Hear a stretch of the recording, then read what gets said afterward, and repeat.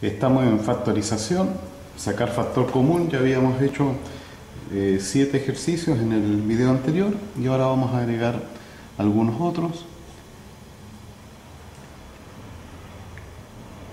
A multiplicado por x más 1 más b multiplicado por x más 1 donde lo diferente a los ejercicios anteriormente hechos es que ahora el elemento común, el factor común, corresponde a un paréntesis. Fíjense, x más 1, x más 1. Ese es el elemento común. Por lo tanto, ese es el elemento por el cual vamos a factorizar. x más 1, factor de. El primero es ax más 1, por lo tanto, x más 1 por a va a dar este primer término, más y x más 1 por b va a dar entonces el segundo término que es bx más 1. 9.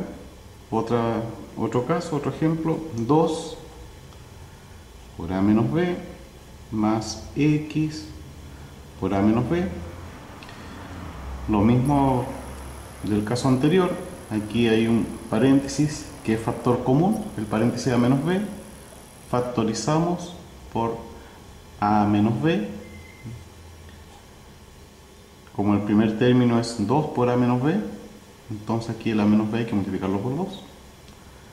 Más, y ahora el a menos b hay que multiplicarlo por x para que dé el segundo término. Ahí está.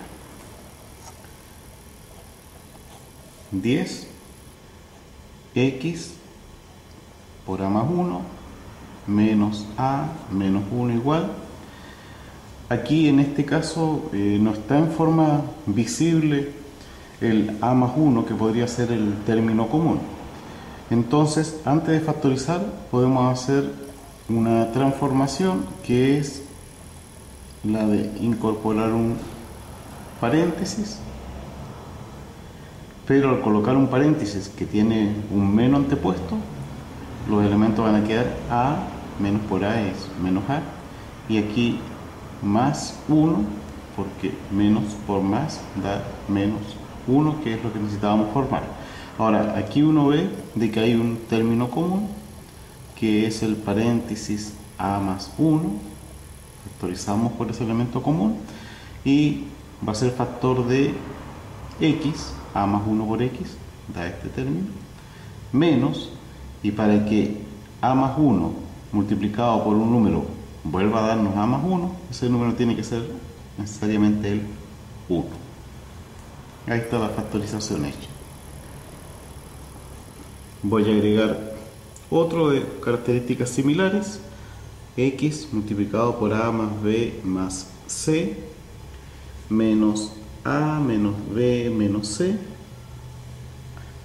Aquí vemos entonces que es una situación similar a la anterior, donde mantenemos el primer término igual y el segundo lo factorizamos por menos 1, ¿cierto? Entonces va a quedar menos A más B más C, que si nosotros desarrollamos este paréntesis, llegamos entonces a estos elementos todos negativos. Y hacemos esto para poder entonces ahora factorizar por ese paréntesis que es A más B más C multiplicado por X menos, y sabemos ya entonces que A más B más C para que vuelva a dar el mismo elemento tiene que ser multiplicado por 1. Finalmente vamos a resolver un ejercicio donde haya más paréntesis involucrado, a más b por a menos b, menos a menos b por a menos b.